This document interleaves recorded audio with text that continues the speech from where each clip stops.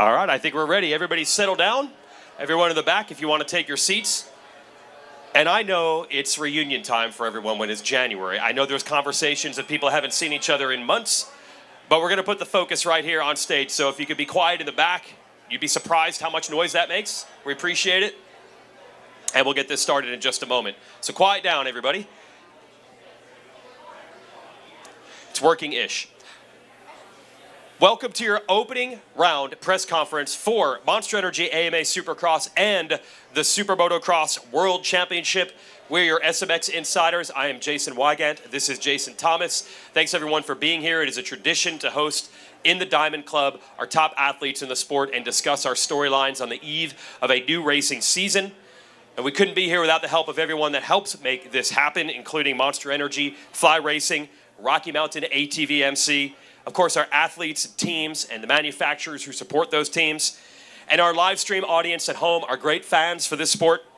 Plus, our broadcast partner with NBC Sports and Peacock, and everyone involved in the Super Motocross World Championship with AMA, AMA Pro Racing, Feld Motorsports, and MX Sports Pro Racing.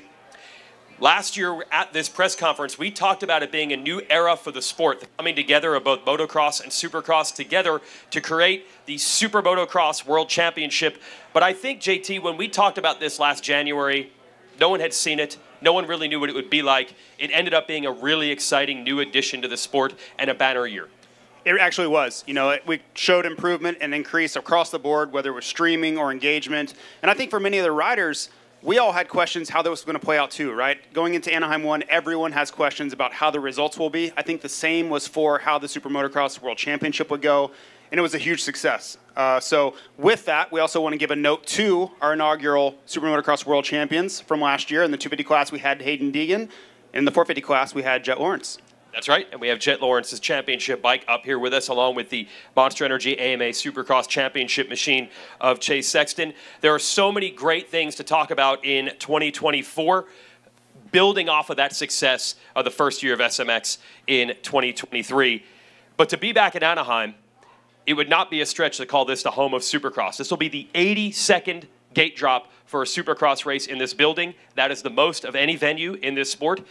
And then we'll talk about more history this year. This is the 50th anniversary of this Supercross Championship, and we'll be celebrating that a couple of weeks from now, not too far down the road in San Diego. Uh, a lot of special new venues and special events added to the Supercross schedule this year. Yeah, it's always great to go to new venues. Uh, you, like myself, have been to many of these venues many times. So to get to go to new cities is very exciting. Uh, some of the highlights San Francisco, which we haven't been back to in a decade, which will be awesome. And then Birmingham and Philadelphia, new venues, new cities to, uh, to visit this season. Of course, we have our 11 Pro Motocross Championship races that will remain uh, the standard uh, venues that we've had. And then we will have our Super Motocross playoffs. And we're not going to give you the dates yet. That's going to wait a little bit, but we will have our Super Motocross World Championship playoff events later this year again. We have the dates. we will not announce the locations. So, familiar locations for Pro Motocross, a couple of new additions for Supercross. We will announce the locations for the SMX playoff races at a later date, but they're three weekends in September. The dates are already available. And we want to mention in the continuing collaboration of the two series, both Supercross and Motocross, all tickets can be purchased now via Universe and their company Ticketmaster. Pro Motocross tickets will now be sold via Ticketmaster. That's a big change and an upgrade for the convenience side for fans. So you'll buy your tickets for Supercross and Motocross and SMX in the exact same way, which is Ticketmaster. That's a big step forward for the Pro Motocross Championship. And tickets for the SMX races will go on sale later in the year when we announce those venues and a couple other changes, again, showing that coming together of the two championships. We announced this uh, about a month ago. The point structure has changed just a little bit. We can show you this here.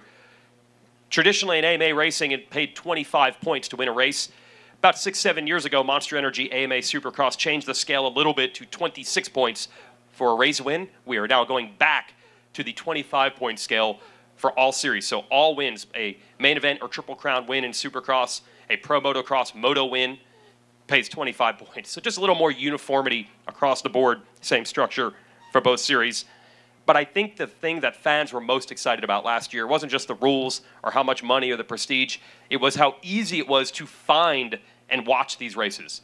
Yeah, when you look at how easy it is going to be to watch racing this year, you can watch on Peacock. You can watch across. Uh, there's going to be replays on CNBC. There's just so many different ways. The SMX Video Pass, if you're an international viewer, uh, it, I don't think it's ever been this easy to watch Monster Energy Supercross or SMX. Yeah, so to give you an idea, every race streams live on Peacock, all 31 rounds all year long. Or if you're outside the U.S., as you mentioned, the Super Motocross Video Pass. We have live television coverage coming from four rounds of Supercross, including here at Anaheim 1 also, Detroit, Philadelphia, and Salt Lake City. They will air live on either USA Network or NBC. We'll have four live NBC rounds of Pro Motocross, Thunder Valley, Redbud, Spring Creek, and Washougal. And then the SMX playoff rounds will have same day or next day encore coverage on USA Network or NBC. And I also want to mention it's a little cheat code. CNBC airs every race Monday at 1 a.m. That's the cheat code if you're a DVR person and you just want to set it and forget it. Just set Anaheim 1, record the whole series. You'll get every race via CNBC on your DVR. Never, I don't think, has there been easier way or time to see the races anywhere you are at any time. Uh, and with that, we want to introduce the uh, broadcast team. We'll just bring everybody up for a photo op. A lot of familiar faces, including myself and JT, will be back. Uh, also, welcome to the stage Leigh Diffey, James Stewart, Will Christien, uh, will not be joined by Ricky Carmichael today. He will be here tomorrow. He's not able to be with us. Uh, but we'll bring the broadcast team on up. But I really think last year people enjoyed, again, coming together, uh, bringing James Stewart into the booth with, with Ricky Carmichael, all time bench racing and analysis. Just an example. We'll move to the center here of how cool this is. So we'll gather the group.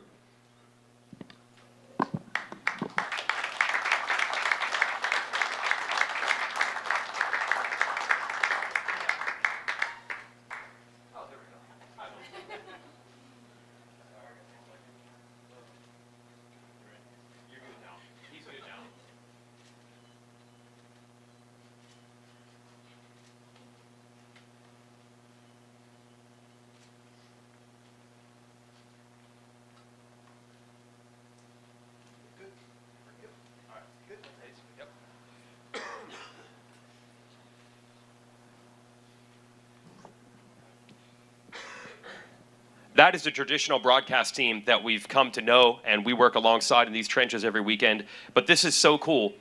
We have an addition. Never before have we had this in the sport. We are going to have a simulcast Spanish language broadcast live at all 31 rounds of the Super Motocross World Championship. So we want to introduce the world to Edgar Lopez and Tommy Rios, our Spanish broadcast team.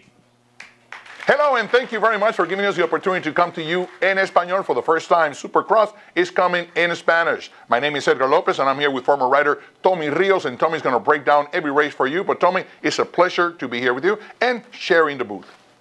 That's right, Edgar. We're going to do it in Espanol. We're going to bring the action live for all 31 rounds via the SMX Video Pass.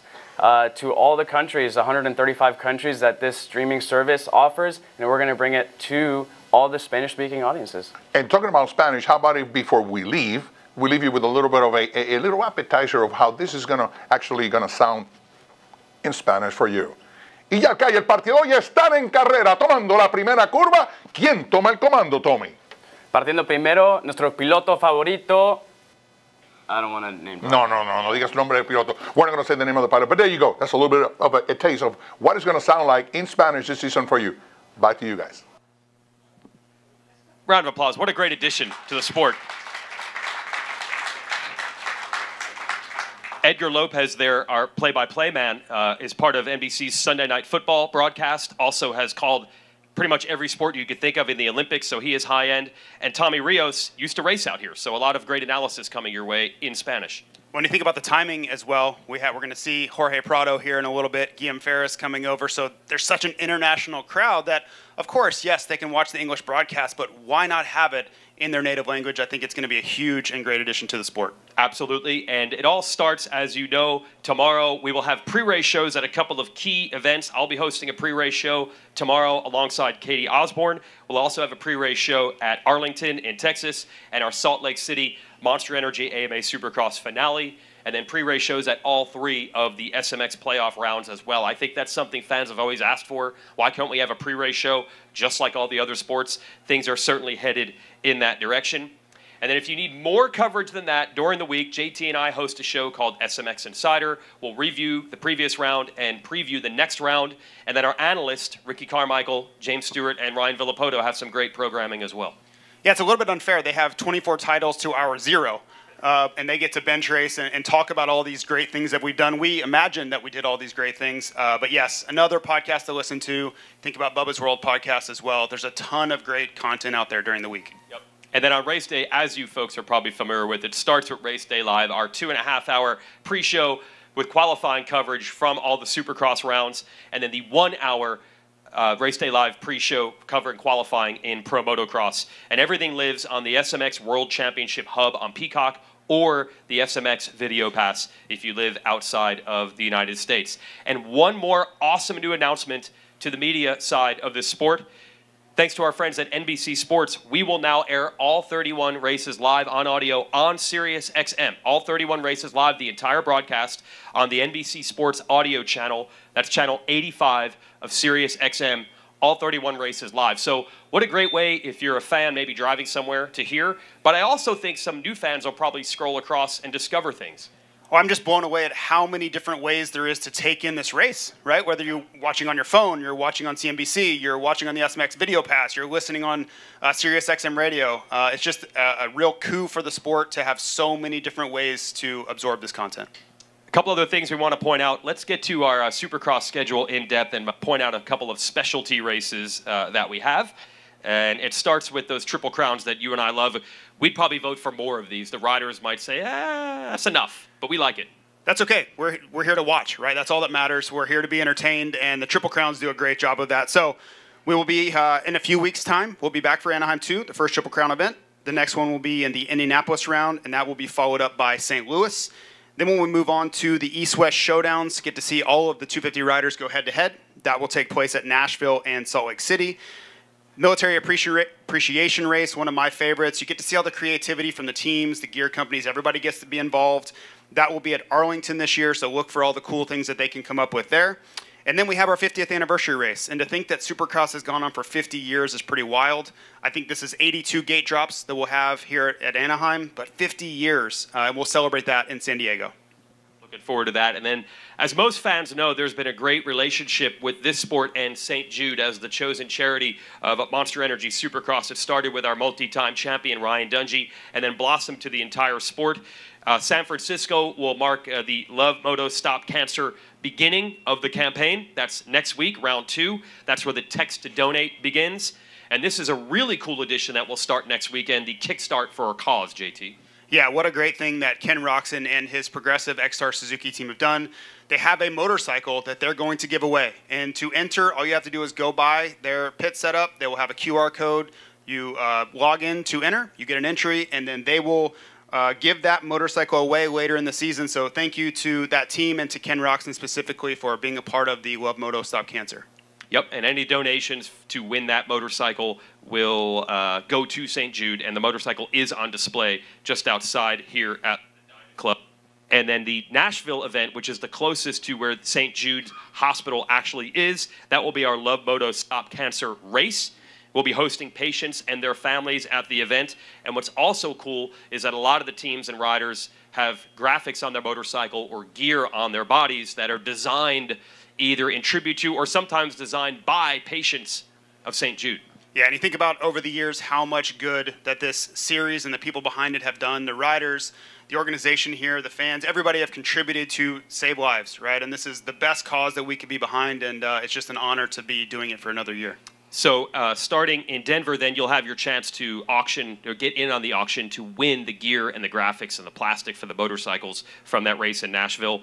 And then another edition is the first ever Rocky Mountain ATV MC golf tournament that will take place in Salt Lake City in conjunction with our Supercross finale. Uh, that's new also, and look for more details on that uh, upcoming. But that'll be on Thursday, May the 9th. And uh, one other thing we want to talk about is SMX Next. That is the new umbrella term for the series that already exists to help the amateur riders transition to pros. We call it Supercross Futures and the Moto Scouting Combines in Pro Motocross. They're all under the umbrella term of SMX Next. Our Supercross Futures races will take place at Anaheim 2. At Daytona, a lot of the amateurs very excited for a chance to race there under the lights.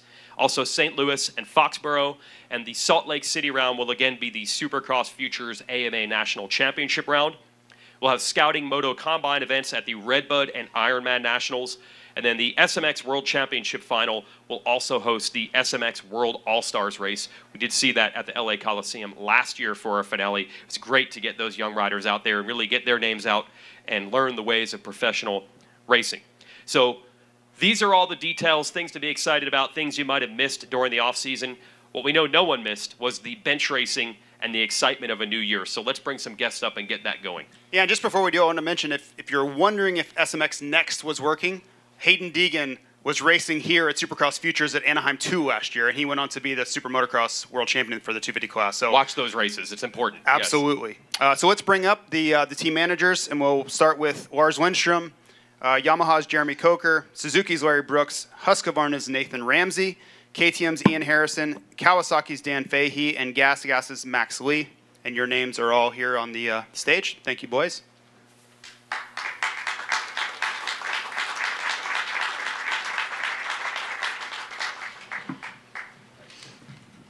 So we'll, we will start off with a question for Lars Lindstrom. And Lars, what an incredible 2023 you had. Uh, it had been 20 years, though, since Ricky Carmichael had won a, a Supercross championship for Honda. Now you get to see uh, the number one plate has moved to another motorcycle, but you have this juggernaut in Jett Lawrence coming up into the 450 class. So can you walk us through the emotion, uh, how great it was to win so much last year, and then, yeah, bring Jett into the 450 class? Yeah, definitely. I mean, uh, 20 years was a very, very long time for us to wait to win that championship. Uh, we're very, very proud of winning that championship and uh, proud of Chase too for, for doing that for us. Uh, so uh, at the same time, you know, wish him the best of luck and uh, wish that you know it was a it was a red bike right there, but. You know, anyways, Jett Lawrence and Hunter Lawrence moving up to 450 Supercross and Jett obviously already proving himself as, as a uh, title threat as a rookie, uh, we believe, um, is, is really, really exciting for us and um, can't wait to get started. And this we'll open up to the media. We do have uh, microphones, so uh, raise your hand if you have a question for our assembly of team managers. Uh, I'll ask one while we wait for, uh, you can go ahead right there. Uh, Dan Fahie of Monster Energy Kawasaki, a lot of buzz about a new motorcycle uh, that Kawasaki had raced in works form in the MXGP series in Europe with a lot of success. How is the transition? How is that bike working so far in Supercross for your riders? The transition's been great. Um, you know, obviously, you know, for us reading about it, seeing it, and everything else is one thing, but getting our guys on it and getting their response is really the real answer. And uh, it was very, very positive right from day one. So we're very excited about the season looking forward.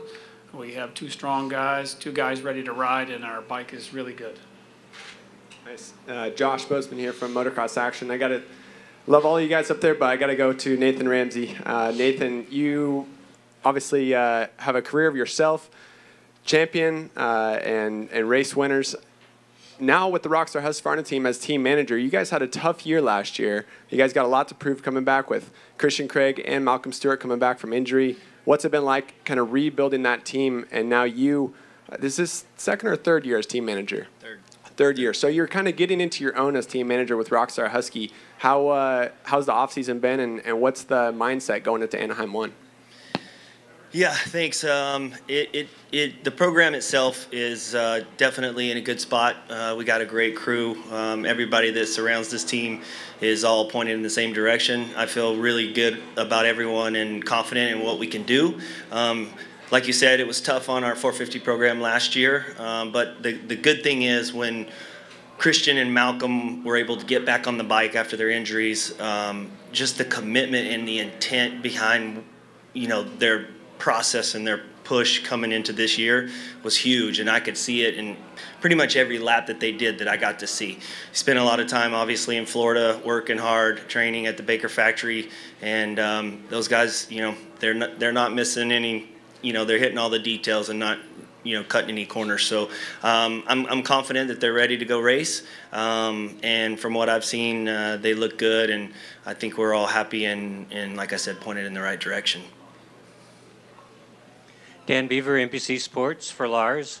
Uh, how do you keep the momentum? You had such a great season last year. How do you keep that momentum going through the off season? And is there any added emphasis on the 250 riders since uh, you lost your 250 champions from last year?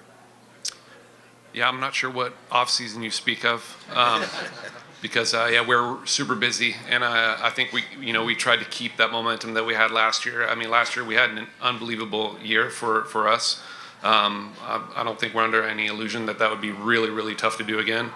Um, but you know, when you have the, this type of momentum that other teams have had in the past, you know, you just try to, to stay on that wave as long as you can and and uh, and do the best and, and try to see if there's anything that we we did, you know, really, really well last year, or or anything that we can improve, um, and just try to try to repeat that. Um, so uh, that's definitely the goal.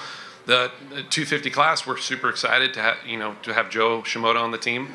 Um, I think that bike is very proven, obviously, uh, the last couple of years, and uh, trying to just improve that bike a little bit, you know, here and there is is uh, has been our goal, and I think we've achieved that. Um, and um, so uh, we're hoping that he can keep that, you know, uh, that same momentum on, on, that class, and then Chance Hymas on the East. So um, I think we're in a good spot, and uh, really, really excited to see him on the track.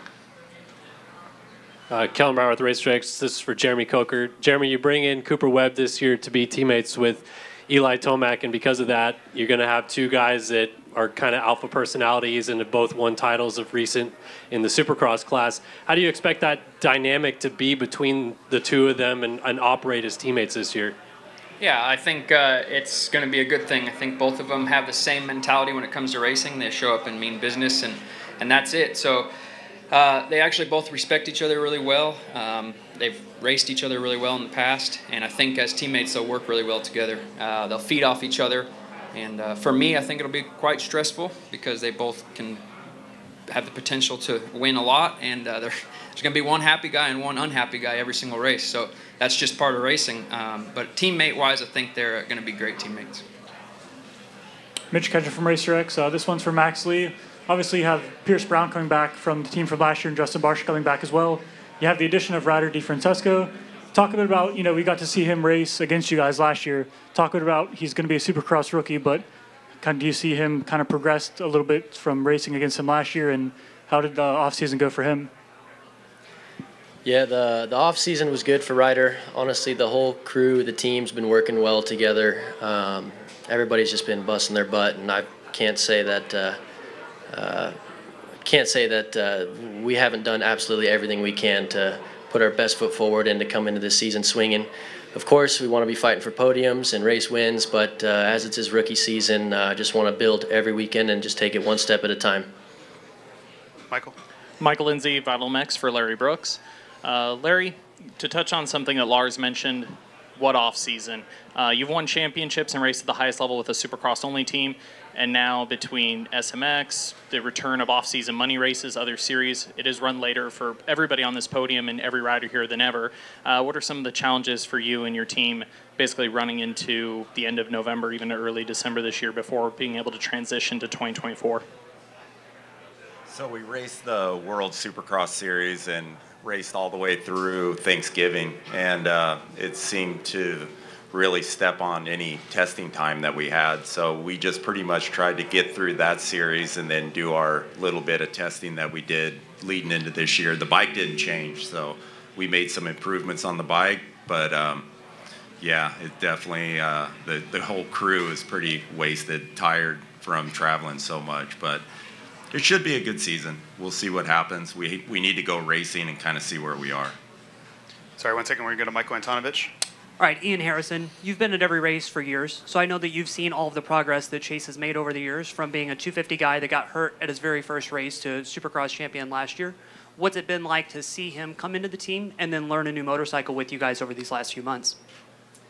Yeah, of course, uh, getting a guy like Chase is um, is awesome. Um, he has he's, he's you've seen his progression as he's come into the um, come into his own here the last few years. Uh, obviously, he came from a really good bike. They won last year, so it's been challenging. You know, there's some good things on your bike, some good things on their bike, but there's only two wheels that touch the ground. So if you adjust one thing here, you affect something over there. So it's it's been um, we've worked at it, and I think we've made progress. And now I'm ready to see my report card tomorrow night. Uh, Ryan Nitzen with Cycle News. My question's for Lars. Uh, can you talk about obviously Jett proved himself in the outdoors, uh, but you have two Supercross rookies in the 450 class. Can you just talk about any challenges, if any, uh, of the offseason and then bringing that into tomorrow night? Yeah, I mean, uh, Jett Lawrence, I, I, guess you can call him a rookie in the 450 Supercross, Supercross class. Um, but with the the outdoors that he had, you know, with the you know how well he was how dominant he was there, and then uh, SMX, um, and then also overseas races that we did. Uh, we're you know we're really confident with him and and feel like um, even his mentality and the way that he approaches races, I think that you know he will possibly avoid some of those rookie mistakes that that usually happen. Um, but we'll see. You never know. Um, 17 races is a really long season, and Supercross is really tough. Um, and then Hunter, you know, his methodical approach too, and, and, and already that the um, you know the mature the maturity that he already has and shows um, I think will suit the 450 class. And um, and he you know with only two weeks on the bike and when we raced in Paris he was already really really quick. Um, so now with a couple of months of testing, uh, more time on the bike, a little time you know off on uh, as far as races go, I think they're they're fresh again. So um, I think we're, we're pretty confident right now that we have two solid guys. Jamie Guida, Vital MX. Dan Fahie, uh, my question is, with the new bike, how is uh, Jason and Adam's off-season been? How's been testing been? What have they liked? What have they not liked? Uh, the testing's been great. As I had mentioned before, um, you know, we have a lot of years on our other bike, and, uh, you know, we change a bolt, and they know. And it was great for us to get on the new bike, and they went, you know what, this bike is really, really good. Uh, we're really happy with it. Of course, like everything, there's work to be done, and our guys worked really, really hard to make the bike suitable for both of them. But to be honest, it, it, it was just normal work. It wasn't uh, a fire drill. It was just doing what we do uh, and making the bike tailor-made to each rider. And uh, I think so far, as Larry and a couple other guys have mentioned, you know, now we have to see where we're at because we feel pretty good where we're at, and uh, now we just got to wait and see. Uh, David Pingree with Whiskey Throttle Media. Got a question for Max Lee. Max, you've got an interesting dynamic under your tent with uh, seasoned veteran Justin Barcia and reigning world champion Jorge Prado. How has that been? Have they worked together at all? And what are your goals for Jorge, and what have you guys? What discussions have you guys had about his first three rounds here? It's actually been uh, quite good having Jorge around. I've known him for a long time. He's a great kid, a lot of fun, high energy, just like Justin. And um, yeah, he's new to Supercross, but uh, as a past champion, um, there's always a lot to learn, and, and the whole dynamic between the riders right now has been really good, really positive. They're pushing each other every day at the track, and um, they all want to win. So um, it's a very healthy environment for everyone, and expectations for him, man. I just want him to learn as much as he can these three races. Um, I think he's definitely more than capable for top tens and potentially a top five, but um, I want some heat race wins, some hole shots, and uh, learn as much as he can. I'll be happy. Jani Hovi, X Racing Magazine Finland. This is for Ian Harrison. Ian, uh, you have the defending champ in your camp right now. How has it been working with Chase? It's been it's been good. We've we've uh, been fortunate to have this in the past. Um, so that number one is is heavy, um, and it, it comes with a lot of pressure. But um, it's good pressure. It's nice to have it's nice to have someone that has a lot of speed and a potential to win. So now it's up to us to uh, to get the bike where he likes it. And like I said earlier, there are some challenges. Some things on his on his previous bike were good. Some things on our bike are good. So you try and combine them, but it's not it's not possible to have everything. But we do our best to get him in a good place, and I, I think that's where we're at. And I'm ready to see how Saturday goes. Uh, Jeremy Coker, uh, there were rumors that the star facility was shut down for like another top rider uh, in the off season. You guys signed Cooper kind of towards the end of last year. You've got the biggest 250 roster. You bought a facility to have everything in house. Does it speak to maybe like a new philosophy that the Star Yamaha team is, is bringing to this sport? Is is there like a bigger vision that you guys are kind of working towards with like all of these things considered? Uh, I think that uh, it's something that's definitely beneficial having our facility and our race shop and everything in one location for testing wise and stuff like that. Being able to build tracks that we want to build, being able to change stuff when it needs to be changed. I think to say it's bringing a new philosophy to the sport, I think you know we're not the only ones. KTM has their facility and their track very close as well. Maybe not on the same exact property, but um, no, I don't think it's. I think it is something really good, really beneficial to us. Um, you know, as for the first thing you said, I think that's just a rumor. We don't really ever shut our facility down for anybody. It's pretty much in the middle of nowhere. We don't really have to shut anything down. Um, so yeah, I think the the the, bene- the benefits of having our facility uh, and race shop in one location, yes, sir, there's a tremendous thing for us. And let's say that that wasn't a rumor. And do you guys have the ability to just go like, you know what? We'll have three top dogs on the team if uh, if if we've got the opportunity. Like, would you say that Star, I guess, is aggressive in their approach to getting the best talent, uh, and you know, that that is a, a philosophy that you guys have? Yeah, I think it's no secret that uh, our team owner Bobby Regan likes to win, and that's all he wants to do is win. And um, you know, I think the one philosophy, I, I don't think it's very hard to see, but if you know, if you own the whole starting gate, eventually you're going to win all the races. And so, no, to say the potential to have three top dogs is out of the question. No, it never is out of the question. Um, I feel like I do have three top dogs on my team right now between Cooper, Justin, and Eli. I mean, I, they're all pretty darn good riders. So, um, no, it's never out of the question. Whatever, we'll do whatever it takes to uh, try to be on the top spot. Dan Hubbard, Race Day Live. Uh, Lars Lindstrom, got a question for you. In other motorsports, the Manufacturers Cup is a big deal, and we're going to talk more about it as this year goes on and dig a little deeper into it. I believe you won, Honda won the Manufacturers Cup for Supercross 2023, and I just want to ask you from your perspective and Honda's perspective what that meant to you. Yeah, I think we won 22 also, but I could be wrong on that one. But um, I don't know if that was outdoors maybe. But it it um, it means a lot. I, am glad that it's becoming more important um, and getting a little bit more attention because, uh, you know, that means that you're you're doing well in both uh, 250, 450, and that you're you're consistently at the front. Um, and like you said, yeah, in other motorsports, it's a it's a big deal. Um, so for us um, to be able to say that we were the manufacturer of the year is is one more thing to add to you know to our list of things to to you know, uh, advertise our motorcycle as a really, really good product. Um, so, yeah, I'm, I'm, glad it's becoming um, more of a thing. Hey, uh, Alex Gobert, MotoOnline.com. For Ian Harrison, uh, the, the new factory edition for 2024, can you take us through the initial feedback of that bike, say, for for Aaron Plessinger, what's been his thoughts, or or even Chase as well in switching to this one? How's that been, and uh, is it a lot different than what we saw last year? Ah, that's a good question. Uh, yes, we have a we have a new chassis. All the geometry of the chassis is the same. It's just the the stiffness, the torsional stiffness of the frame, that's a little different. And um, we gave our riders the choice uh, which one they want to use. So uh, right now on our on our side, on the KTM side, there's I'd say 75% of the riders have chosen uh, the newer chassis. Some of them have still stayed on the older one.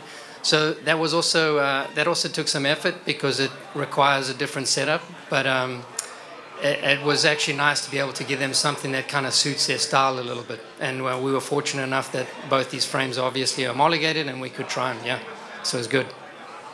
All right, that's all the time we have for our team managers. So, round of applause for them. Thank you very much for your time.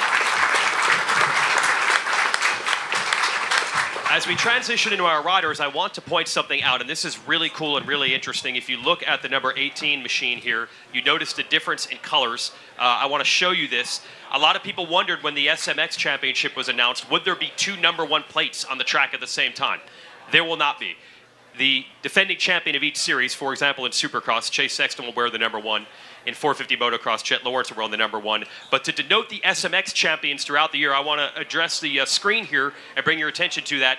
The champions of SMX will run these colors. That is a uh, purplish background and the high vis green on their numbers all year. So that will denote, in the case of Jett Lawrence and Haiden Deegan, that they are the SMX champions over the 31 rounds as well. So that's a new addition. So don't be confused when you see that on the 38 and the 18 throughout the year, or when Jett has the number one in Pro Motocross, he'll again have that color as well. So that's a new addition to help the fans keep track of who's champion of each series. So that's why his bike has those colors. That'll be fun, a new addition.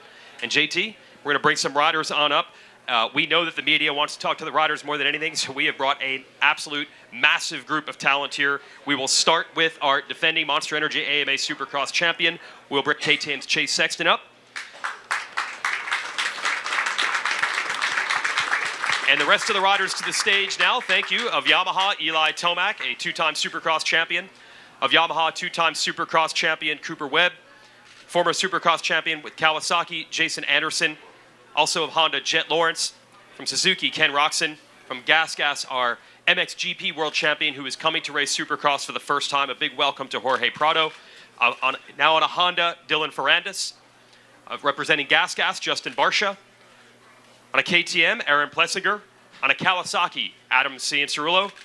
And representing Husqvarna, the teammates Christian Craig and Malcolm Stewart and two rookies adding to the 450 talent pool of Honda, Hunter Lawrence, and of Yamaha, Justin Cooper. I believe that's 15 different athletes that we'll have the opportunity to talk to this afternoon. I'll start with the defending champion, uh, Chase Sexton. All right. Welcome to our athletes. I think it's the most obvious question here. You've switched teams. How is the new motorcycle? How has the offseason been, Chase?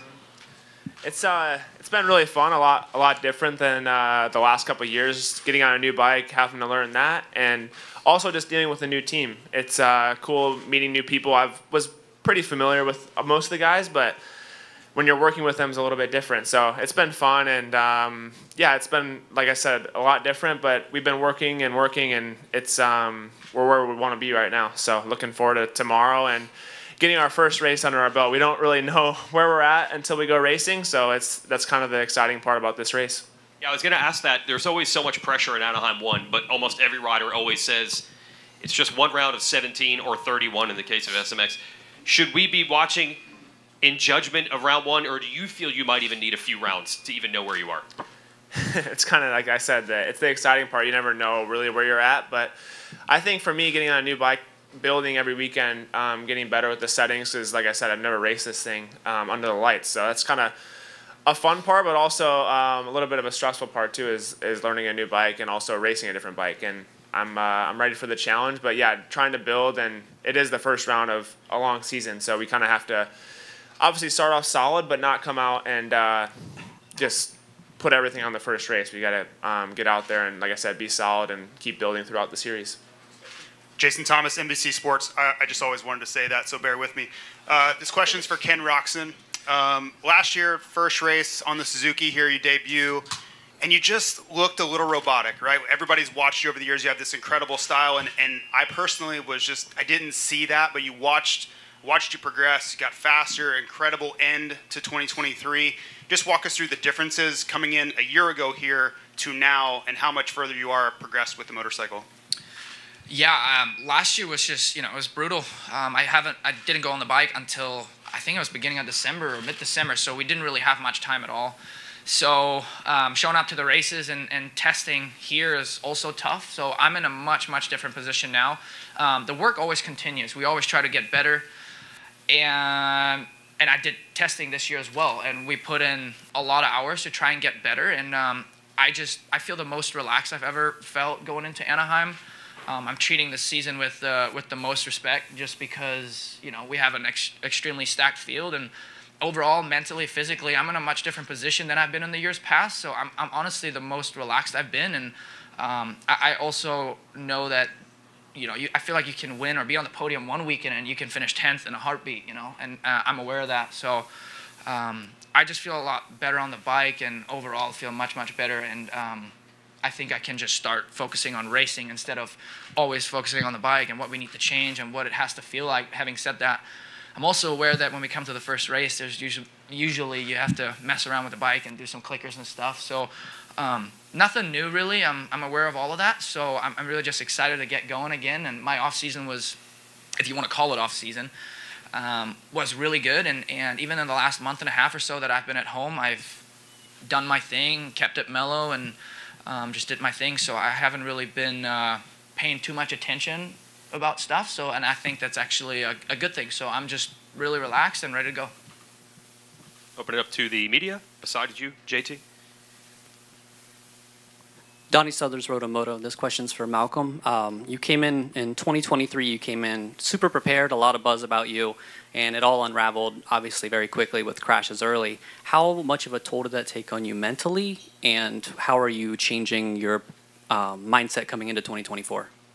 Uh, you know, of course, for me, it's uh, it's been a whole year since, since I've raced. So um, going into it, just really just relaxed, you know, um, and just having fun with it. You know, again, you know, last year kind of got taken away from me, but actually, if anything, I feel like I'm more relaxed going can, into this year because I feel like I'm like a little bit of that underdog. Like nobody has seen me race in over a year, so if anything, there's just nothing but a point to prove and just go out there and have fun and, and just last all the races. But um, again, it off season went, went really well of course, you know, anytime you first get back on the bike after nine months, it's going to be a little bit of a struggle. But after that, we picked up speed pretty quick. I've been surrounded by a lot of great teammates, and it's just really good to be back up here again in front of all you guys. Um, you know, um, you don't realize how much you miss it until it's gone. Uh, AC, mate, you are writer slash media mogul these days. So I always love your takes coming into this season, we've got maybe the best season of all time uh, on the horizon. Some of your storylines, some of your thoughts, some of the things that you're excited for uh, as a fan of the sport, not just a rider. Well, I'm very excited about your haircut, dude. Your hair looks fantastic. Let me just say that. Thank um, you, brother. Yeah, I think uh, I feel like every year we add more and more chairs in this press conference because the the talent and just the way the sport is headed in general. It's I think there's going to be 17 or 18 factory guys on the gate. You know, so when you talk about you see uh, sports like F1, everybody factory, it's kind of starting to trend that way, and um, it's because there's so many talented dudes up here. And um, for myself, it's a great opportunity for me to to test myself, um, you know, against the best. And um, I've had a good off season my, myself, as you know, we talked um, early in the off season. Uh, been able to do a lot more laps and feel fit and ready to go. And um, but yeah, there's there's a lot of storylines. I guess you'll have to wait uh, wait to see on the podcast during the week. We're gonna we're gonna try to knock those out. Jonathan McCready, GateDrop.com for Jett Lawrence. Jett, it doesn't seem that long ago you were riding EMX 250 and winning at just 14 in Europe. Did you expect to climb through the ranks so quickly in America and at 20 years old be one of the biggest names in the sport and uh, one of the biggest favourites for this title?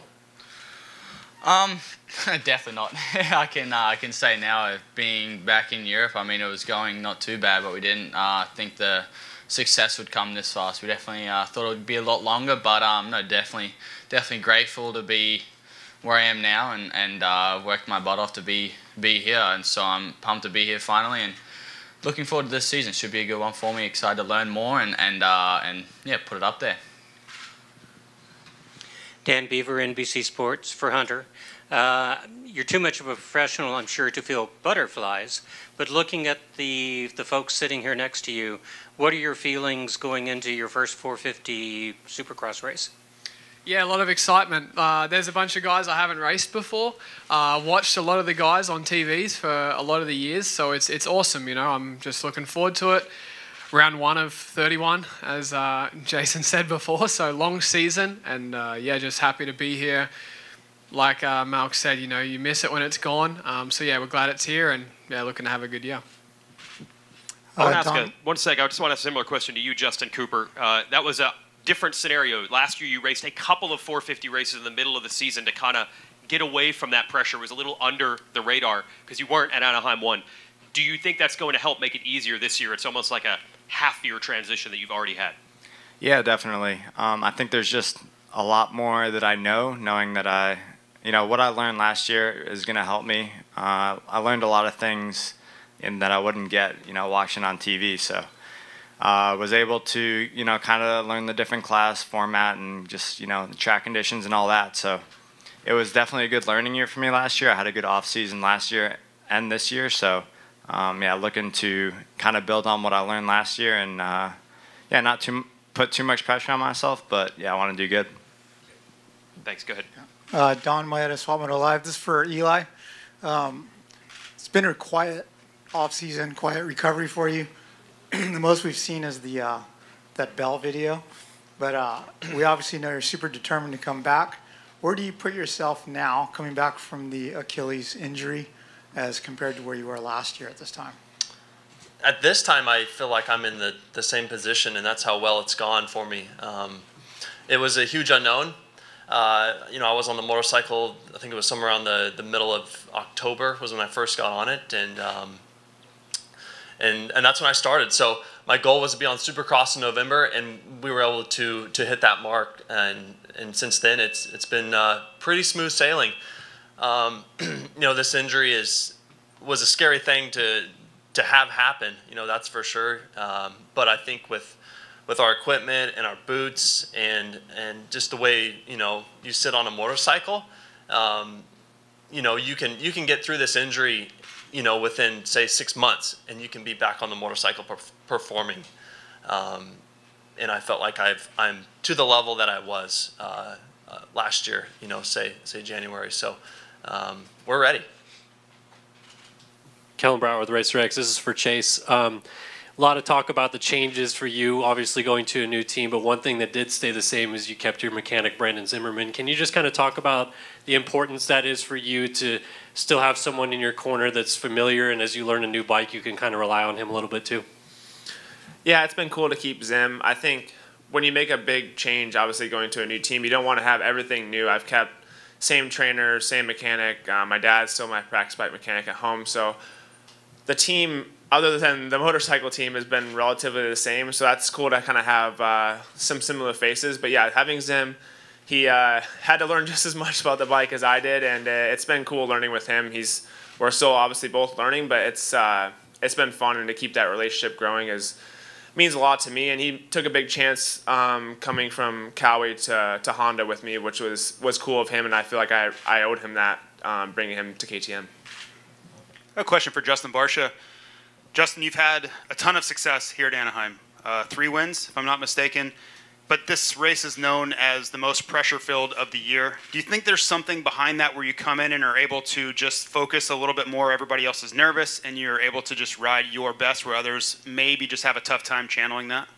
Yeah, you know, it's always been uh, an interesting thing for me here at this race. I've, you know, always done well and enjoyed it. Obviously, last year it didn't go to plan, but um, I, I handle that pressure really well, and I just go out there and do my thing and have fun. I would say this year it feels a little different for me. I don't feel like I'm coming in to where you know I've came in before in the past seasons with a lot of time on the bike, training and things like that. This year I'm more, uh, I feel like open and just kind of see where I'm at and have fun with it. But that's kind of, in a way, that's how I always come into the first race. Just see where you're at, have fun, and um, do your best. So yeah, for me, I, I love this place. It's a good vibe. Um, there's obviously a ton of competition here, so I'm uh, stoked to see where I'm at. And it's a long season. Stay healthy, have fun, and go try to win some races. Uh, Kenny, we've got Jorge Prado here, MXGP world champion. Uh, of all the people on the, the stage up there, you're probably the person that could relate uh, to what he's going to go through on Saturday night the closest. What do you expect from Jorge? What do you think Jorge should expect from himself? Three rounds obviously isn't a long time to, to get in the groove, but obviously we know how good he is on a motorcycle. So, just given your perspective, your unique perspective, like what do you think he should expect? Yeah, um, we were actually just talking about that, and the situation may be tiny bit different. Um, just as in he's coming into the big boys right away, and where I was in the 250 class. Um, I'm not 100% sure how much supercross experience in general he has, but it's really tough to, excuse me, achieve any kind of supercross experience. Being over in Europe, we just don't have have it to this level, right? Um, but he's been, I think, on supercross track for about a month and a half, and that's not a whole lot of time to get like ready, ready. But I'm sure it's just, you know, you can be at the practice track all day long and, and and do laps, and you come to the race and everything changes, you know. And I think he's aware of that. He's got good people in his corner, and um, I think back then I was a I was a lot younger and not thrown in the deep end, but kind of just like yeah, just had a different mindset, right? Going into these races, and um, you know, I'm sure he's gonna really enjoy it. It's just something really different, and I think it's it's something to really take in. Um, not a whole lot of people from Europe come over and do this stuff, so I think he's gonna have a blast. And um, I think it's also very dependent on the track, right? Like sometimes we show up certain years and they got massive whoops right away and, and all of that stuff. So um, these ones look a little bit more mellow and, and uh, you know, going to through practice and then starting the night show and going racing is also a whole nother animal. So I think there's just a lot of exciting um, moments um, in his future here, and his near future, and, and, getting a feel for it tomorrow. And it's like what you said, three three races isn't really a whole lot, um, probably to get 100% comfortable, but it's a start, you know. And I'm sure if he likes it and everything goes well, he'll be back. And um, yeah, but having said that, you know, we, we've all seen him race, and uh, I've actually seen him ride when he was still on 85 cc's a long time ago, like 2012 or whatever it was, and you could tell just right away that he had the style and the technique and timing to be able to do this. And obviously now he's on a, a whole other caliber. So um, I wouldn't be surprised if he's doing really well. And but I also know how tough it is to come in and do that. And he's obviously got the starts on his side and that is a big bonus when it comes to these races, especially with a field that is this stacked. Cool. Uh, Josh Mosiman here, MXA again. Uh, I'm super stoked. We got an epic list of, uh, of, of, guys up here, and every single guy has a storyline. Um, but I do want to send this one to Cooper. Uh, Cooper, looking at the list like I just mentioned, I think Ken is the only guy who hasn't switched teams and hasn't got a new bike for the new year. Uh, you have switched teams.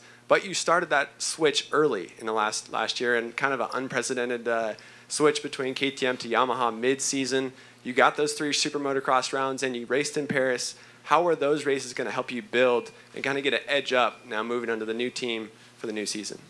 Yeah, like you said, it was very uh, a little different situation, but uh, it was it was really good to get some races in, and also to honestly get my butt beat pretty good. Uh, it was a big wake up call to where we needed to be and what we needed to work on with not only myself but uh, getting me just a little bit more comfortable. So, yeah, it's been a great off season so far. We've had great time uh, moving forward, being with the new team, trying stuff, and uh, getting me comfortable. And training's been really good as well. So, yeah, it's it's pretty crazy. Like you said, a lot of good guys, and you know, it's every year it gets deeper and deeper. So it's uh, exciting to be able to race the best guys in the world and you know, I'm excited. It's uh, I know I can put myself in a good situation for 17 rounds, and I feel like I'm I'm in a much better spot now than than even last year. So excited to get to work.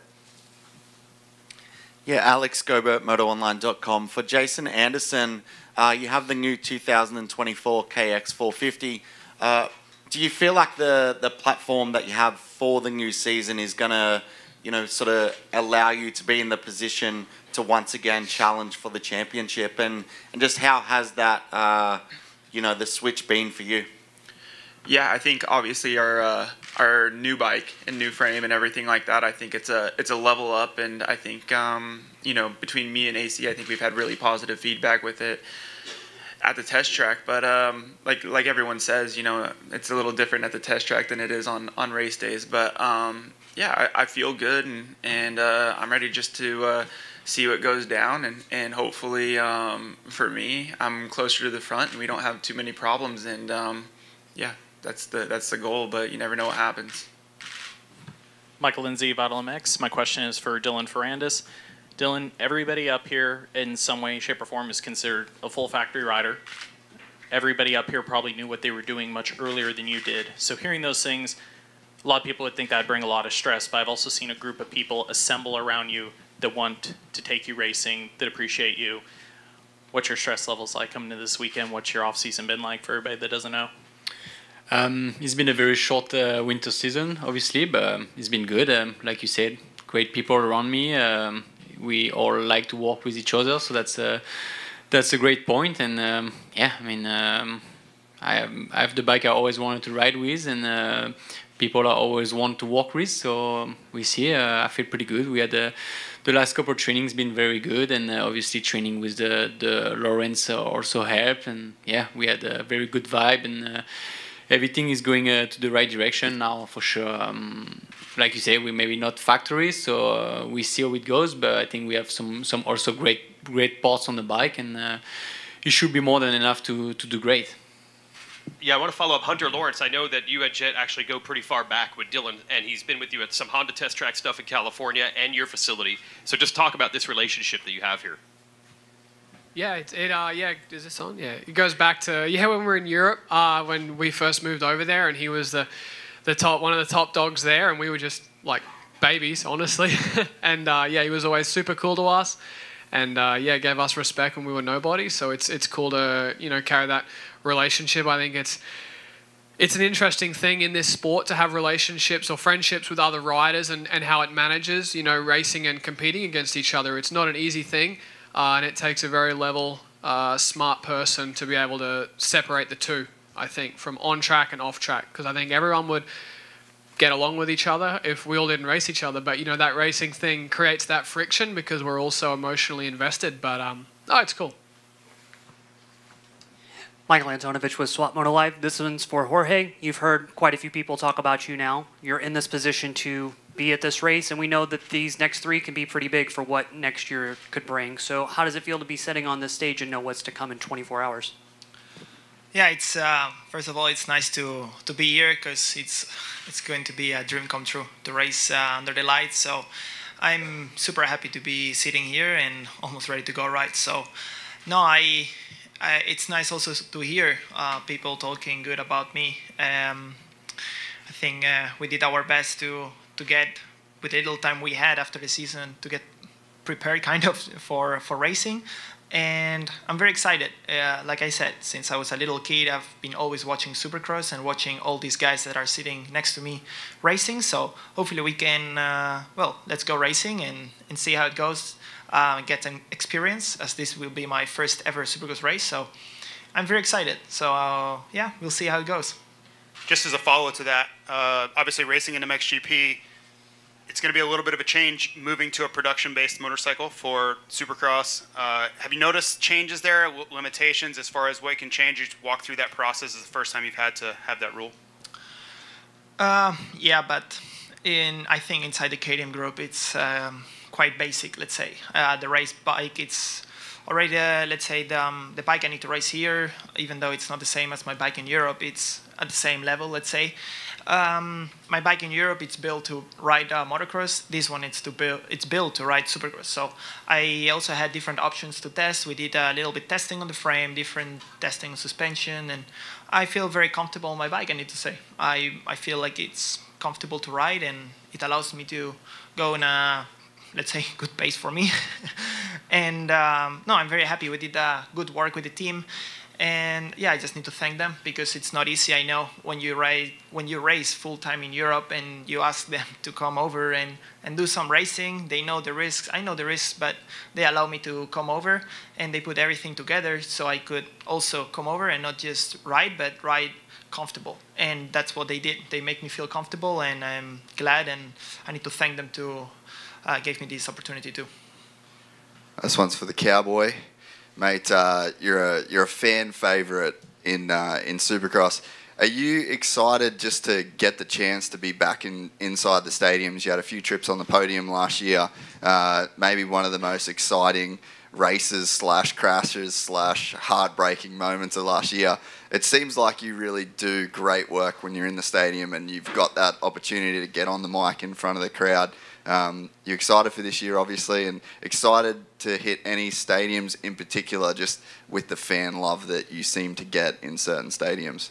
Um, I mean, I'm I'm obviously excited about this year. Uh, I feel, you know, I think I feel better this year than I have in any 450 year that I've had so far. So it's uh, it's exciting for that part. And then, yeah, I think. Um, I mean, I didn't get to race Nashville last year, and uh, I really, really wanted to because I had something special for them. But uh, maybe this year, and then. Um, yeah, I don't know. I'm I'm I'm just ready for this uh, this whole season. We've we've got some really cool new venues on the map, and uh, and I'm ready to get out there and uh, to show them what I got. But um, yeah, I'm I'm really excited just for the season in general. Um, I'm really excited to race these guys, and uh, I'm I'm excited for tomorrow. Which uh, which frame did you go with too, by the way? I, I don't know. I mean, I to be honest, I'm not sure. I don't even know what tires I'm on, brother. I kind of love that though. Uh, question for Chase. Chase, do you feel as fast on the KTM as you did last year on the Honda? And with Jett and Hunter coming in, are you expecting the level to go even higher than it was next year, last season? yeah, for me, I don't ever feel like speed is a problem. Um, and on this bike, I, I like I said, I feel very comfortable and like I said, I, I, I know how to go fast, but I expect the, the levels to rise this year just with how many good guys there are, and it just keeps getting deeper and deeper every year. I've been in this class. This will be my, I think, fourth year already, which is kind of crazy for me. I feel like I just started, and uh, yeah, I expect the levels to rise, and that's what I've kind of prepared for. Mitch Kendra from RacerX. Uh, this is for Christian Craig. Obviously, you're a 250 West champion. You're a experienced vet.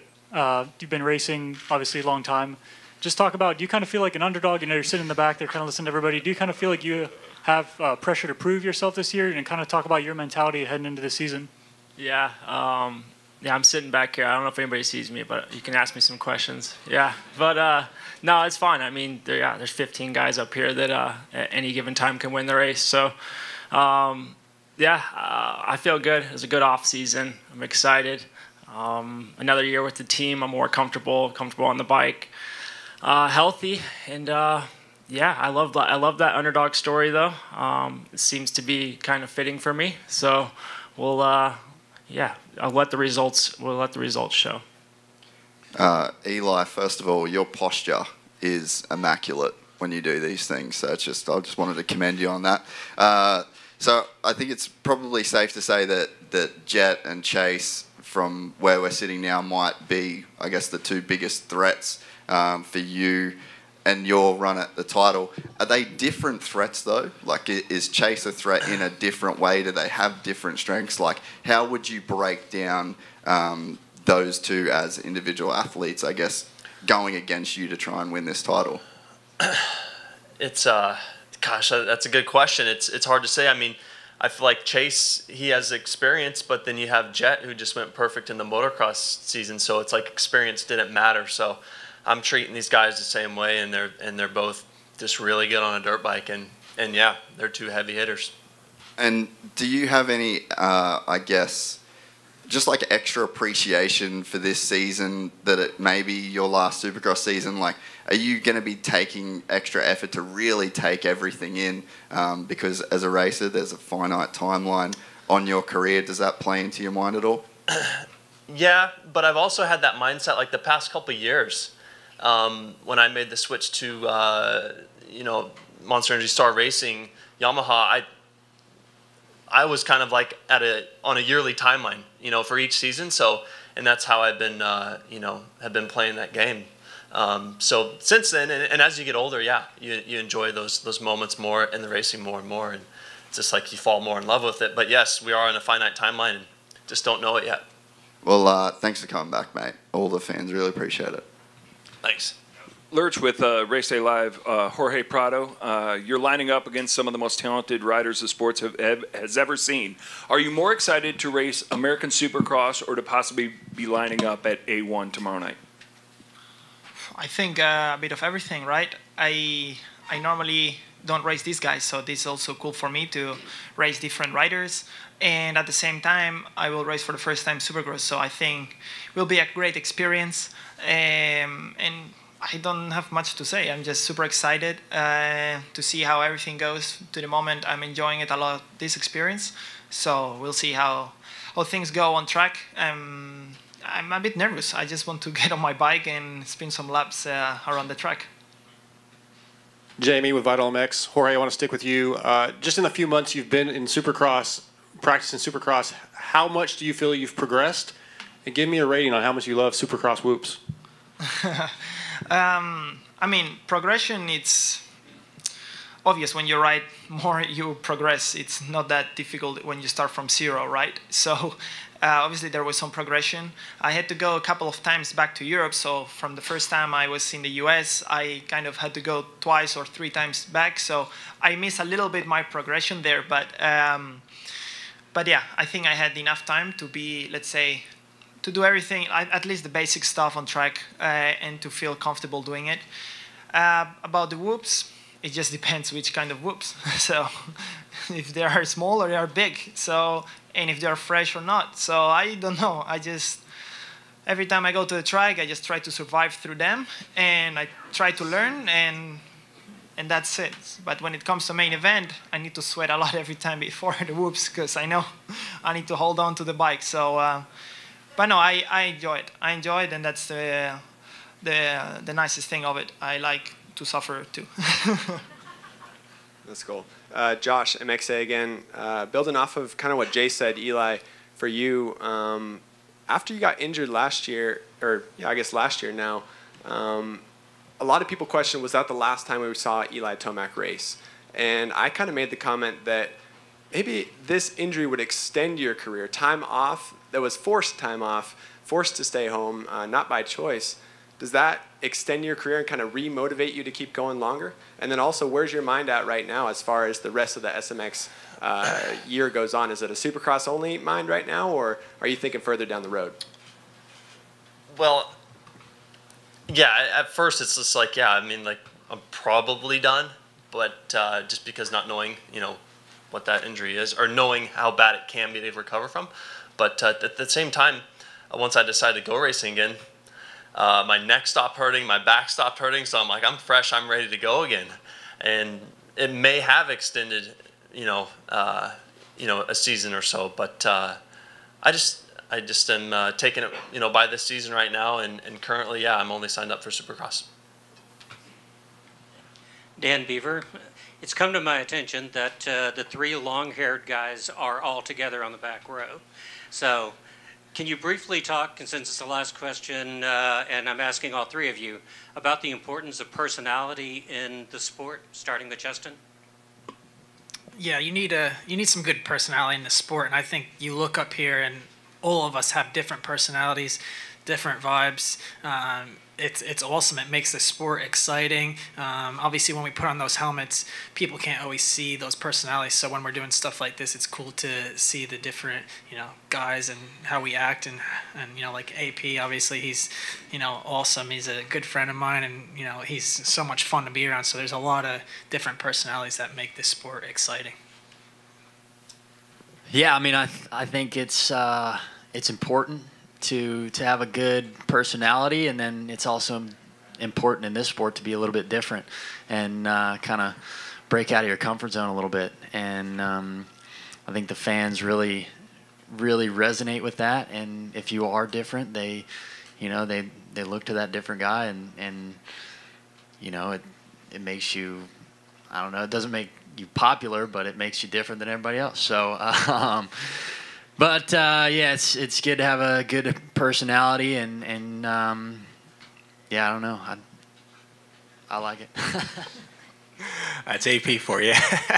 um, no, it's obviously cool to have a different personality, like these guys said. You know, um, only only reason I grew my hair out because I was always a big St. Louis Rams fan from Steven Jackson, so I always thought dreads dreads were really cool. So the downfall of it is uh, when it gets all muddy and dirty and stuff like that, you're sitting in the shower for about two hours. So, but I mean, it's part of it. Um, again, personality is always key. People call me the predator or whatever they want to call me, but um, we we all have personalities up here. You know, it's uh, that's what you know makes this game more fun. You know, it's not just always about racing motorcycles. You know, it's what you know Instagram and you know social media is for. See what we all do on their you know off season and stuff like that. Like Kenny loves to surf, Chase likes to surf. You know, we all have our own cool little personalities that we like to do. And um, again, it's it's I think that's what makes us fan favorites.